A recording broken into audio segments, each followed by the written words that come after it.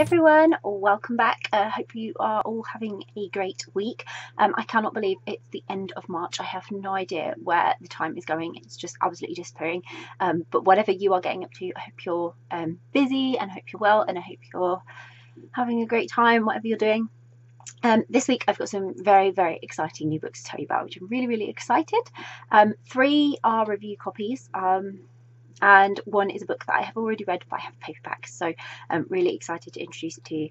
Uh, so this week um, I have my two uh, Ylva arcs. Um, so that's my review copies from uh, Ylva Publishing. Um, so I have Chasing Dreams by A.L. Brooks, which I'm super excited to read and can't wait to share it with you. Um, and I also have a box set, The Complete A Story of Now series by Emily O'Beirne, um, which looks great. Um, I think they're previous releases from Ylva and they've just been put into um, one bumper book. So I'm really, really excited to read that and find out what it's all about and share it with you. Um, also, had very lovely gift this week. Um, from Crystal Chard. So uh, Crystal sent me a copy of um, Worth the Risk, uh, which is a lovely paperback, lovely gift. So I can't wait to uh, read that and share that with you at some point.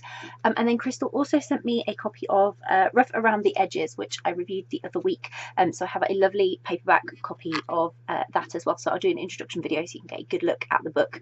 Um, but thank you, Crystal. They are absolutely amazing um, and I can't wait to share them with everyone. Uh, so that's it for this week. Just the four uh, four books, uh, the three new ones, and the one that is paperback that I've already read.